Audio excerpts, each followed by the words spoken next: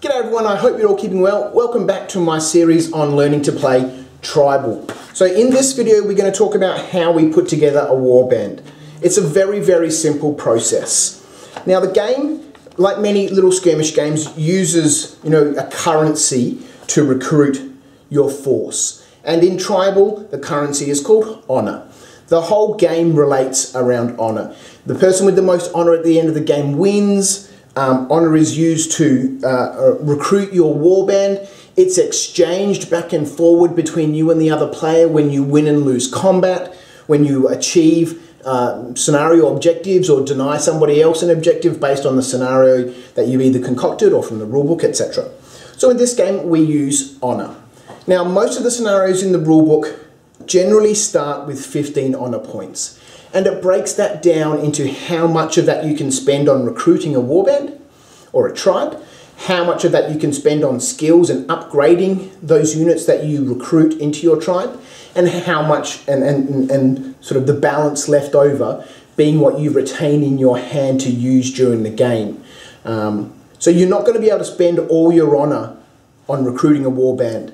And you know, as we learn to play the game, you'll understand why. You know, as soon as somebody has no honor points at any point during the game, they've lost. So you want to make sure that you've got some in your hand at the start of the game, so that you can, you know, you've got some to, you know, win and lose with, etc.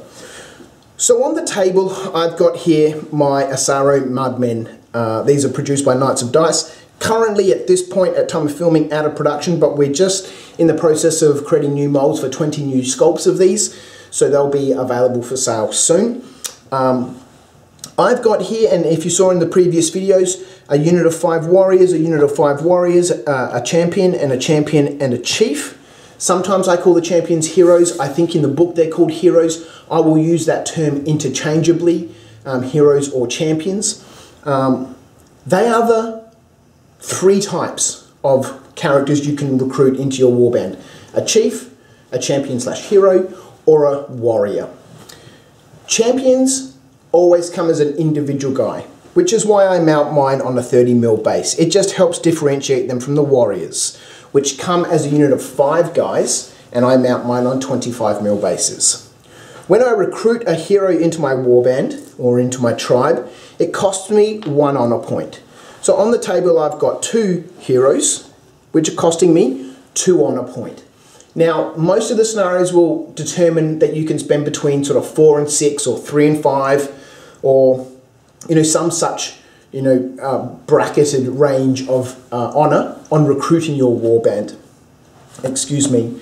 Um, so in this case, so far I've spent two honor points. My chief, who I normally mount on a 40 mil base, I normally put two guys on my bases just to you know, help them stand out. You don't need to, it doesn't do anything in the game. It just makes them look cool.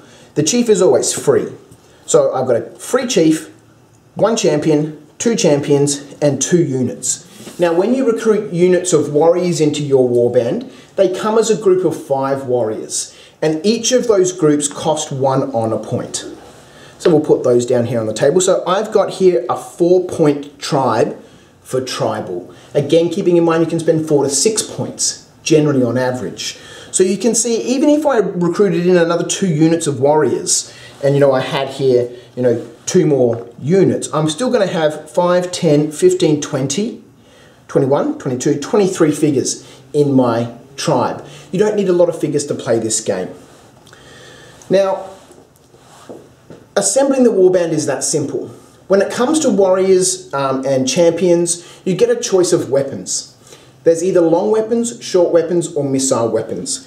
In this case here on the table, I've got a unit here armed with like clubs and short weapons, and another unit here armed with spears, so they're long weapons. This champion has a long weapon, let's stick him on this side, and a champion with a short weapon, and then my uh, chief. This guy's got a long weapon as well. I'm not entirely sure, I'll have to check and maybe I'll clarify in the next video if chiefs have long or short weapons. Not entirely sure. I'll have to double check that point. But when you recruit warriors into your warband, they're either going to have a long, short uh, weapon or a ranged weapon. Now, I don't normally use ranged weapons. I might add one to this group just so I've got a unit of five guys with bows. Um, but they're the type of weapons that you use. It doesn't matter if it's a, a, a, a sword or a club or a axe or a hatchet or whatever. Anything that is a short weapon is a short weapon. Anything that is long, a spear, uh, you know, a pole axe, a javelin, um, anything that's long is a long weapon. The, the game doesn't differentiate between the different types of weapons. It doesn't matter, at least for the core rules, if you have shields or armor or anything like that. That'll all come later on when we talk about more advanced rules and some of the specific rules related to different sorts of cultural tribes. Um, but for the core game, it's just those three types of weapons. You pick those for your models and you recruit them into your warband. They all cost the same points, but you know there are differences in how they're used during the game. That's it, it's that simple. I start generally with 15 honor points. I get to spend four to six of that on recruiting my units, and you know the scenario will determine you know between zero and four or zero and six or whatever on upgrading and adding skills to those units. And we'll talk about skills further down the track once we've gone through all the core mechanics learnt to play the game. Then we'll start introducing some of the cool, uh, you know, extra stuff, or you know, the advanced section of the rulebook. Um, the skills section, dirty tricks, you know, card pulls, you know, the men of honor, um, special rule, um, all that sort of stuff will come later.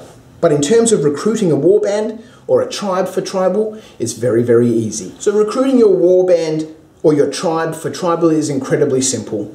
I hope the video has been useful. I hope you're enjoying this short series on how to play tribal. And as usual, if you have any questions or comments, please put them in the description or in the comment section below. In the description will be links off to ManaPress and Tribal and you know, a whole bunch of other places on the interwebs where you can get some more information about this wonderful, awesome game. Thanks very much for tuning in. I'll catch you in the next one. See ya.